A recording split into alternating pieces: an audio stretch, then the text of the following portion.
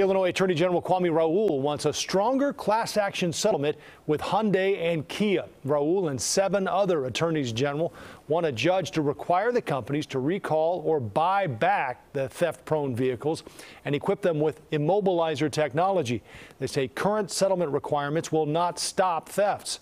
More than 7,000 Hyundai and Kia vehicles were stolen in Chicago last year.